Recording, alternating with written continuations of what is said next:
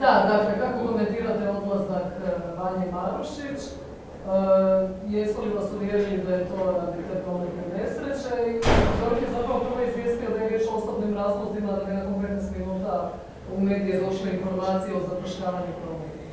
Ponuđen nam je bizaran razlog, dakle nesreća vozača Vanje Marušić.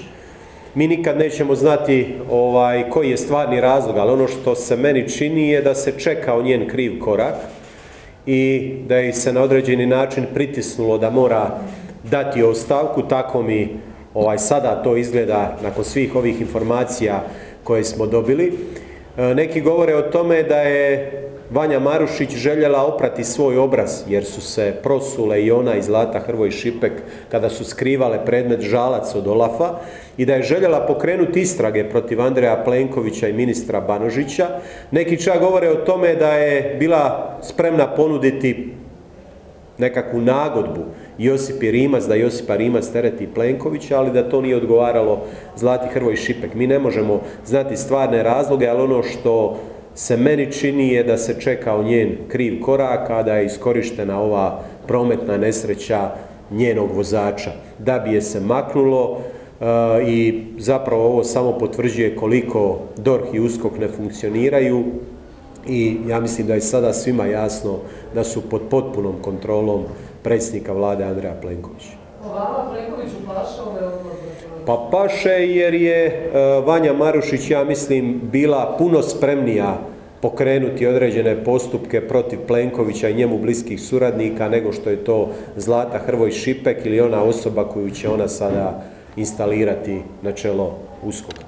Dobro, treba li razjasniti okolnosti tog odlaska? Pa trebalo, trebalo bi svakako razjasniti okolnosti. Mislim, na tako bitnoj funkciji da ode šefica uskoka, e, to je, to je nužno. I mislim da ste dobro primijetili da je komuniciranje od strane uskoka bilo jako loše, ali možda je to bila namjera. Dakle, da se ovaj, prvo pošalju ti obiteljski razlozi, onda ova nesreća. E, Ja mislim da je ovo bio odstral Vanje Marušić iz uskoka.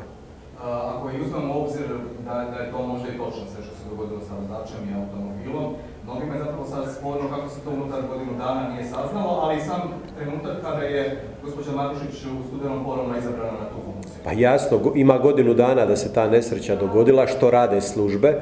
Osim toga, ona će sada ostati na funkciji, jel tako, kao zamjenica, ja pretpostavljam. A, tako da očito to nije nekakav velik krimen, ali se čekao a, neki krivi korak kako bi se maknulo, očito.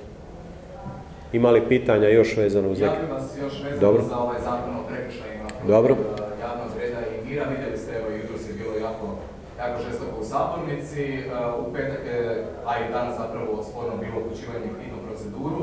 Nekima je pak e, sporno kažnjavanje ovih spornih uzvika sa 4000 eura, nekima širenje laži. Kako vi gledate na? Pa ja mislim da je e, općenito problematično da mi imamo zakon koji je star koliko 48 godina, da ga se ne mijenja u cijelosti, nego da se samo povećavaju kazne i to za nekakve smiješne stvari, širenje lažnih vijesti. Tko će to utvrditi što je lažna vijest? Mi smo imali kroz ovo vrijeme epidemije konstantno širenje lažnih vijesti od strane vladajućih. Pa evo Plenković nas uvjerava da su više rasle plaće i mirovine nego što je rasla inflacija. Hoće li se Plenkovića uh, sankcionirati zbog širenja lažnih vijesti? I onda imamo ovaj dio braniteljske populacije, tu je naš kolega Bulj koji ima sentiment za dečke koji su s njim uh, bili u rovovima, koji su se borili po- pod određenim pozdravom.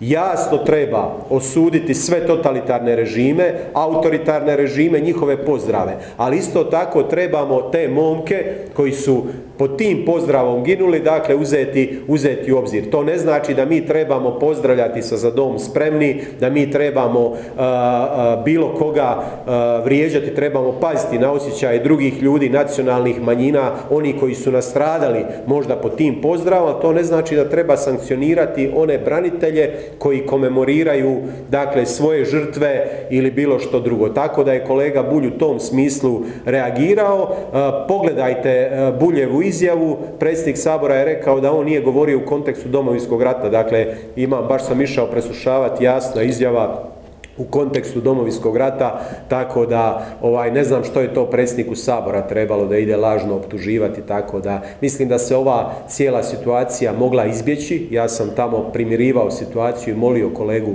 Bulja da napusti sabornicu, da se stvari primire, ali evo kolega Beljak i Sačić su bili revoltirani i jednostavno eskalirala je situacija, nije bilo potrebe za tim, ali definitivno ovaj zakon, ovaj zakon na način na koji se donosi kroz hitnu proceduru, to je nešto što je nedopustivo.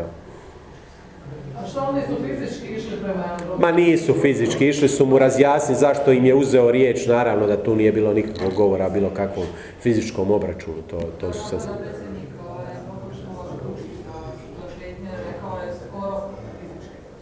Skoro fizičke, dakle ne znam. Ili zastupnici sad fizički prilaze Pa prilaze cijelo vrijeme, pa ja sam prije, pa prilaze cijelo vrijeme i postavljaju pitanja i raspravljaju. Dakle, ja ne vidim bilo što tu ovaj sporno, osim dakle što je ta retorika trebala biti puno, puno blaža, ali e, s druge strane istina je da je e, zastupniku Sačiću oduzeta riječ u stanci. Ne možete u stanci, ako ste proglasili stanku, ne možete onda ovaj donositi određene mjere protiv zastupnika. Tako da u tom smislu odgovornost je i predsjednika Sabora, ali kao što kažem, isto tako lažno je optužio kolegu Bulja da ovo e, nije rekao u kontekstu domovinskog rata, preslušajte izjavu pa ćete vidjeti da je jasno da je o tome govori.